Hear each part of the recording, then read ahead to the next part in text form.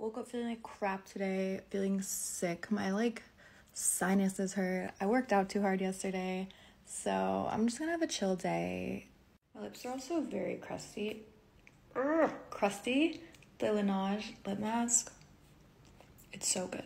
My cat barfed all over my bed last night, so this is how I slept.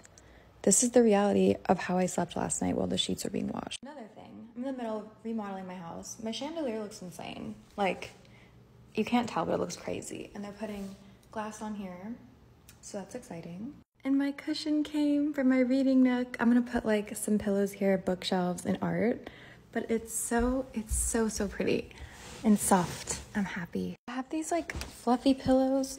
No, no, no, no. I've been cooking pizza for like two days. Oh my god. So I got pizza and more food, a salad, and it's like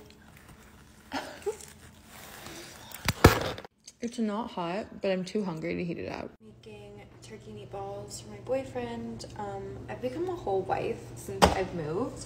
Like I don't even know where these skills even came from. This looks like brains. I don't know what's in the air, but I've been feeling like so sad this week and just like crying for no reason. Um, and just being like emo.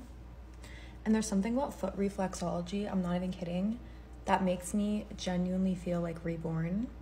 So I'm gonna go do that and try to try to get in a better mood.